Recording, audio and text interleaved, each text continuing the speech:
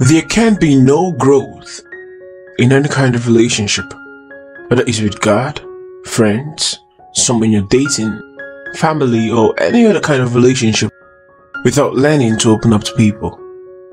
The reason why you may be struggling in your relationship with God is because you haven't learned how to be vulnerable. Do you know how to be vulnerable with God? Do you understand how powerful it is to open up to someone? Vulnerability moves a relationship from superficial to intimate. It's being vulnerable that helps us move forward in our relationships. It is the key sometimes to our deliverance and our freedom. Learning to open up helps us to be seen and loved as who we really are and not who we're trying to be. God is not interested in the perfect you, the washed up you, the put together you, the you who doesn't make mistakes. He is interested in the real you. No relationship that is authentic can be built upon lies and half truth. God wants you to put off the mask. Put off the mask in your relationship with Him, in your relationship with your friends. You don't have to pretend what you are not. God already knows who you are. He sees every part of you. There is nothing that you can possibly tell Him that would surprise Him. He knows you. He wants you to trust Him enough with yourself that you show Him the real you. When you open up to God, you tell Him, Father, I know you. I know you love me and I love you too and so I choose to trust you. I know that you are not fickle. I know that you will not condemn me because you already know me. You can help me. This is what God wants to hear. The reason a lot of people struggle to open up to God is because they are not assured of God's love for them. They are not sure that God loves them really, really as they are. They were afraid that if God was to see those broken parts, He would somehow love them less or be disappointed in them, forgetting that there really is no one who knows them as much as God does.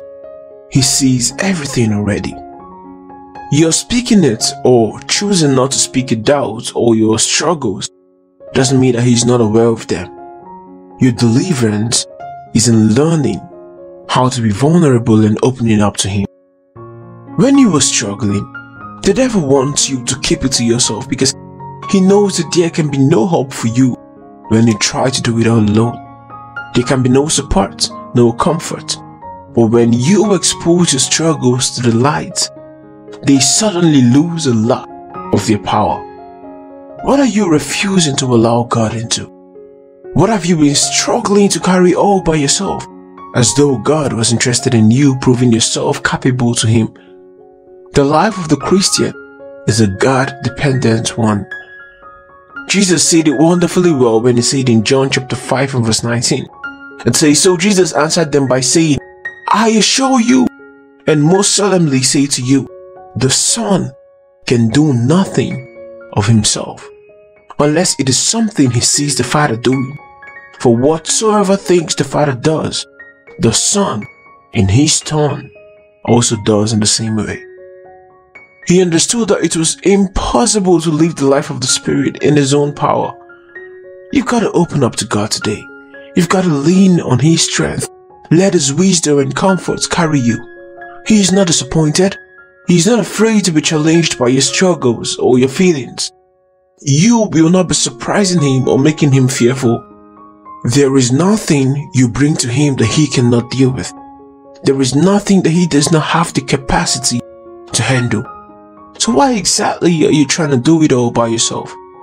Why are you carrying burdens that you were never intended to carry just because you were too stubborn to give it over to God? Lay it at his feet. Let him know what the issue is. Let him know how you truly feel. Let him know what you need help with.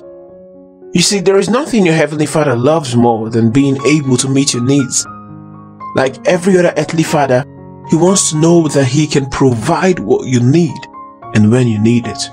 He wants to be Abba, your provider, your source, your everything. So leave the mask at the door. Abandon the facade, the need to be perfect and put together that God has not demanded or asked of you. And lean, lean and find your rest. When you are confused, tell Him. When you can figure it out, let Him know. You cannot receive healing for a sickness that you claim not to have. When you are struggling with doubt, talk to Him about it. This is what the father of the boy with the spirits, who the disciples could not cast out, told Jesus. We see the story in Mark chapter 9 from verse 20 to 27. Let me read it for you. It says, And they brought the boy unto him, and when the spirit saw him, straightway he tore the boy and fell onto the ground and wallowed about for me. And he asked his father, How long is it ago since this came unto him? And he said, From childhood. And oftentimes it has cast him into fire and the waters to destroy him.